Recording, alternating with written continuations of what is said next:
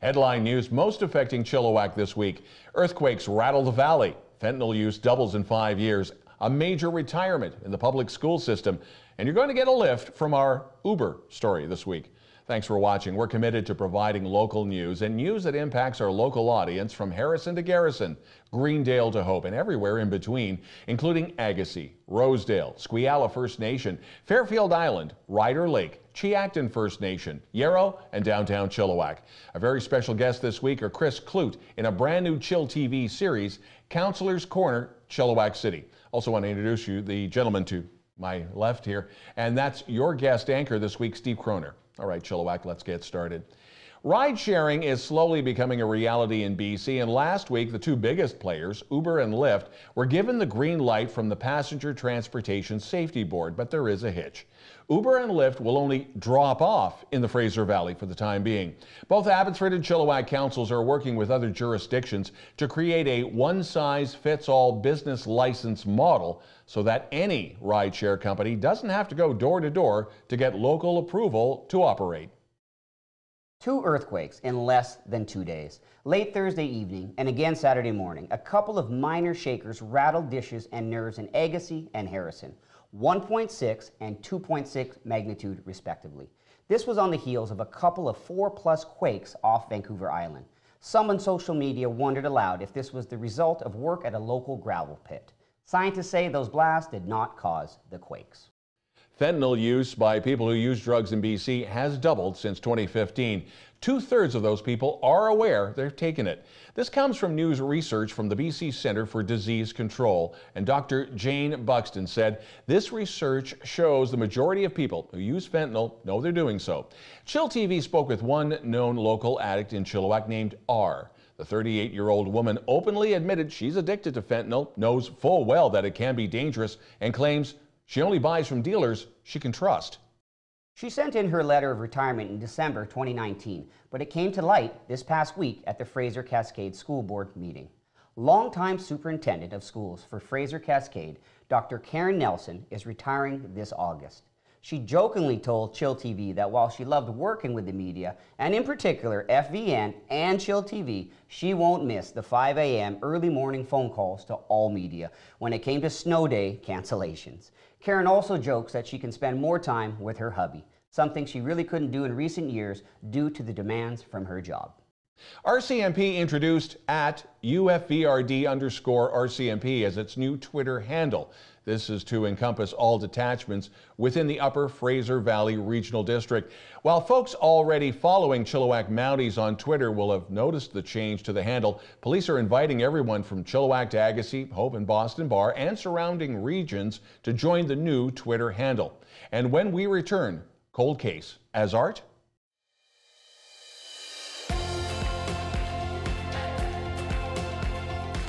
Hello, I'm Jack Cardux from Pristine Foods. We're a local micro farm in Chilliwack. My brother and I are supplying locally grown fresh living lettuce to Hofstede's. We grow them from start to finish right here in Chilliwack, uh, so there's not very many food miles involved with bringing our product to the market. Hofstede's been very accommodating ever since we first approached them.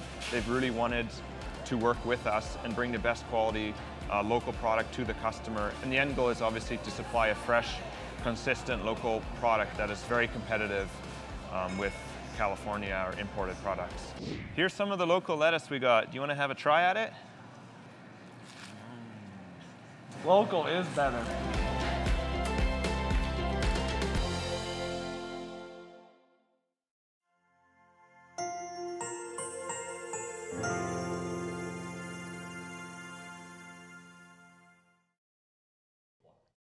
While their social media was going through changes, so was the way they handled long-standing cold cases.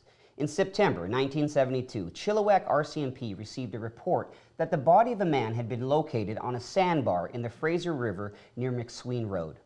After completing a thorough investigation, officers did not find evidence to support an act of criminality or the identity of the recovered remains. The case went cold. Then, in January of this year, during a unique partnership between the RCMP and New York Academy of Art, the faces of 15 Canadian unidentified human remains were reconstructed by students as part of a forensic sculpture workshop, which included the man located in Chilliwack.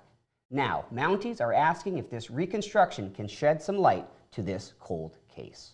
There are Throwback Thursdays, and then there's the throwback to 1895.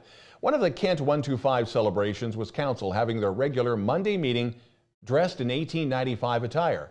Council dressed in period costumes for a portion of the meeting to reenact decisions made during the first year of Kent's incorporation. The reenactment took place during the delegation portion of the regular council agenda. It's the thorny issue that won't go away with regards to who can live on ALR land and in what kind of home. The province is proposing more residential flexibility for people living in the agricultural land reserve as outlined in a new policy intentions paper released January 27th by the Ministry of Agriculture. People are asked to provide their feedback by April 17th on the residential options via email why the ministry finalizes its policy direction, the grandfathering period for the manufactured homes in the ALR for immediate family members has been extended to December 31st, 2020. This means people wishing to place manufactured homes on their ALR property will be required to get the necessary permits and authorizations from their local governments, but do not have to apply to the ALC for approval. By now, it's common knowledge from anyone who has bruised knuckles from salvaging parts at Pick Apart in Chilliwack knows that the Industrial Way location is fading off to a memory. Well, not quite. Michael Thibodeau started a Facebook petition to see if the infamous pink car that was on top of the company office could be placed in a Chilliwack roundabout. That petition can be found at change.org. Of course, council would have to approve of such an art piece, but hey, if metal flowers and old farm equipment can make it, there is a chance. Thibodeau and Cody Chance said on the Facebook pages that it's not sold. John, the owner, laughed when we told him about the petition and said nobody would want it. It would just need a new paint job. Did you know that in the early days of Rotary clubs, their mission statement was to fundraise and eradicate polio? That philosophy continues with a novel made in Chilliwack concept, Pints for Polio. It's this Saturday, February 1st from 5 to 9 p.m. at the Molson Coors Brewery on Elder Avenue. Every dollar you spend at the event will go directly to fighting polio. And then every dollar raised will be tripled by the Bill and Melinda Gates, Gates Foundation. Tickets are just $25 and include your choice of a beverage and a slice of pizza. Jim's Pizzeria, Molson Coors, Rotary, and The Drive are the corporate sponsors. And now sports with Steve Croner. Tommy Lyons scored twice, including the game winner, and Connor Milborn scored his first career BCHL goal and added an assist as the Chilliwack Chiefs outlasted the Prince George Spruce Kings 6-5 Saturday night at the Chilliwack Coliseum. The annual First Responders Night featured the Matthew Hutchinson Memorial Awards that were handed out before the game before a crowd of over 2,500, which included many former Chilliwack Chiefs who, who currently serve in some capacity as a first responder. The next Chiefs game is Friday night in Surrey.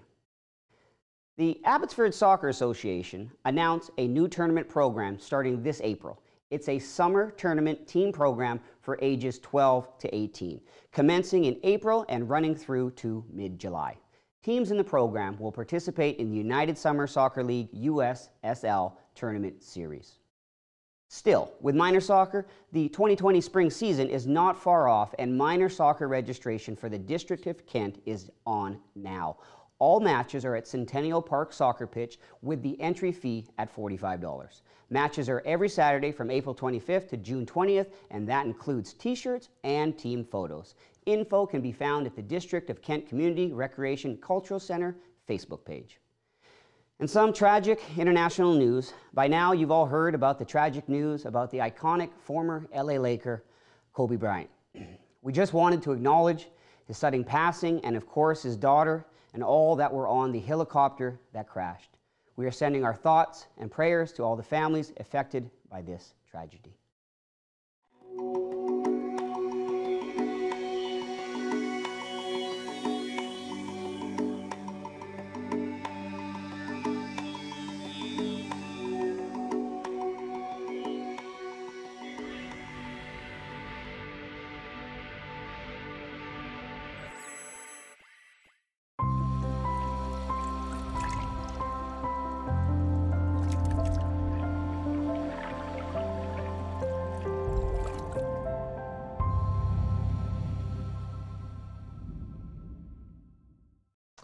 Hi, everybody. I'd like to welcome Councillor Chris Kloot, uh, who I've never met uh, before today, uh, serving Chilliwack in City Hall since November 2014 uh, in the inaugural edition of Councillor's Corner, Chilliwack City. This Chill TV segment is brought to the community to help educate residents on how City Council represents the various interests in various areas. Uh, I understand, Chris, your direct responsibilities include being chair of the Design Review Advisory Committee and also the Agricultural and Rural Advisory Committees. Perhaps we can ask you to describe the responsibilities of each committee and what important work those committees are involved with. Certainly, and it's good to be here. Thanks for having me here today. Um, yes, yeah, so each uh, councillor has their portfolios, their committees that they uh, that, that, they chair. Um, I have the um, privilege of doing the design review and the agricultural and rural advisory. The design review is made up of 12 members out of our community, um, industry reps, um, the RCMP, um, committee, uh, community members, and we look at designs that come forth to the city that are uh, multifamily, institutional, commercial.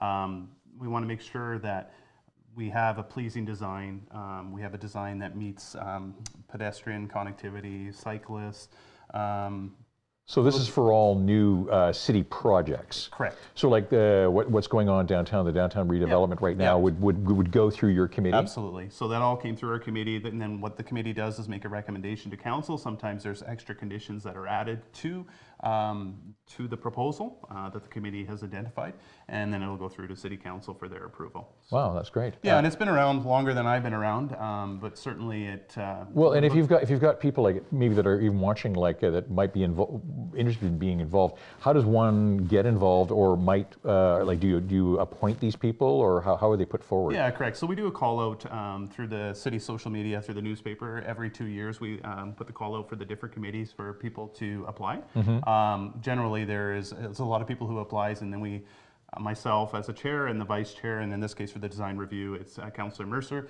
Uh, we go through the applications, and uh, we have the difficult task of choosing. We like them all, but we mm-hmm. have to choose um, however many spots are available. Okay, well, interesting. And I know that um, in December, the design review committee uh, passed a resolution to study EV charging stations. Is that right? Um, for the new zoning bylaw. Can you tell us how this uh, sort of affects residents um, and what the city's hope for outcome is? Certainly. So uh, we know there's a demand. Um, we want to be a sustainable city. Um, this is something that has been asked for. So we're, uh, we're putting the call out out there in our zoning bylaw as well. Uh, we're doing the zoning uh, bylaw review as we speak um, to see what we can do to help um, plan for the future. And uh, we've seen developers in our community, um, such as the Five Corner site, that are providing, and I forget the number, but I thought it was like six charging stations in that wow. development. So, um, you know, as, as changes evolve and as needs arise, uh, we want to be in front of that and make sure that we are as sustainable as we can be. Yeah, well, that's great. Um, and you're also here to give us some updates on city happenings. Uh, I understand uh, new housing need study is uh, being done right now. Well, tell us a little bit about that. Yeah, certainly. So the provincial government is mandating that all local governments and regional districts um, by April 2022, I believe it is, have a housing study in place uh, to identify the needs within the community. Um, we're getting ahead of that a little bit, but we're uh, engaging the, com um, the community. Uh, we want to hear from residents, and we can people can go over to chilliwack.com backslash I believe it's housing study, um, provide us what they think we might be missing. We've done a lot of things over the, the well, last five years. There's the, I, I, saw, I think on social media, there, there was, uh, you were involved in, in a big photo uh, on a new modular housing project. Correct. So the supportive housing units that uh, we're fortunate in Chilliwack that we have um, a really good working relationship with mayor and council with the uh, provincial government. Um, and we have seen in the last couple of years, the Trethewey site just recently opened and the uh, Traders Inn site across from the library on First Avenue opened, uh, I guess it's probably a few months ago now, but um, 92 beds uh, for people who are at risk, uh, who need a roof above their head. And we're certainly doing our part to make sure that our residents all have a roof above their heads. And no. It's, it's challenging. Every community deals with. Uh, well, with it's, this, it's something that comes up all the time when we have yeah. uh, guests from the city. Um, that, that's a that's a, a, perennial thing that comes up. So it's uh, you guys are doing good work. Yep. Uh, oh. But it's but it is challenging, and uh, my understanding is it's really not uh, a city um, a specific issue. It's it's really uh, the, the, provincial government. Is that right? Absolutely. So it is the uh, responsibility of the provincial government. Uh, again, it, key partnerships are, are, are uh, key to the, all of this. Um, and we, like I said, we, we do have a really good relationship. Our mayor has a great relationship with the Minister of Housing. Uh, we have been fortunate to um, have had good news over the, this term. So in the last couple years, um, or year and a half, uh, with these housing projects, the portal, uh, people remember the public hearing, they did ask for a three-year extension. Uh, they were granted an 18-month extension as we look to um, find a more permanent solution um, to to that need. And uh, I think the uh, mayor's um, he's he's having some good conversations as we speak, and I'm looking forward to some good news coming out of that soon. Well, that's good. And um, speaking of mayor, uh, your worship, you're mayor right now, is that right? Well, I'm, I'm acting mayor, so Acting mayor. When Mayor Popove is not available, um, yeah, then I kind of fill in the gap. So So you get your own private parking spot now and, and Uh, all of that like for a little that. while? No, they'll living probably, the they'll probably living I the probably dream. have to pay for parking now or something. yeah. So that, that's that's really cool though, and you've done it before. Uh, Yeah, every so every uh, every year, um, the six councilors each have a, a two month period where Mm-hmm. they basically shadow the mayor. So if he's not available um, to to go to Contingency planning. That's great. well, you know, you never know, right? Yeah, yeah. Uh, sometimes um, people have. Um, in, in our case, we're fortunate we haven't had it, but sometimes there's been health issues, or people go on vacation, or uh, there's two people requesting the mayor to be at, at an event at the same time. So there's always a, a backup plan. Oh, that's cool. yeah. Well, you can find a lot of more information than we, we talked about today um, at the chilliwack.com, the city's website, under the mayor and council link at the bottom of the main page. Chris, I want to thank you for joining us today. No worries, thank you. Pleasure uh, having you on the inaugural edition of Councilor's Corner, Chilliwack City. And until next time, uh, I think next uh, time we actually have Mayor Ken on uh, I'll make in sure he, February. I'll make sure he gets here. right on. Thanks again. Awesome. Chill TV weather, plenty of rain as the snow melt continues and highs of 10. Now, the weather models are indicating there could be yet another Pineapple Express in the making for next week. Thanks for joining us this week, and thanks to our guests. Chris Kloot, City Councilor in our inaugural Councilor's Corner, Chilliwack City, and of course, Steve Croner. Now, Steve, tell us a bit about yourself. First off, as a realtor, are things picking up this time of the year? Yeah, it seems to be uh, getting going here in early 2020. We'll see if the uh, spring market uh, can hold these uh, nice gains so far. And you had some fun with TEDx. Yes, uh, recently I was uh, on a showcase night uh, for TEDx Chilliwack, and I was chosen as one of the winners. And we'll be presenting my esports versus sports sort of section, uh, gamer kid versus uh, sporty kid, come April 11th, and hopefully to deliver a message uh, that is worth spreading. It'll be a ton of fun to watch. And if you'd like to share the spotlight, even if you've never been on camera before, send us a note to news at chilltv.ca with your CV and if you have it, links to your video. And if there's something in Chilliwack in the Eastern Fraser Valley you feel we should be reporting on, again, send us an email to the same address, news at chilltv.ca. That's the news this week. I'm Don Lehn.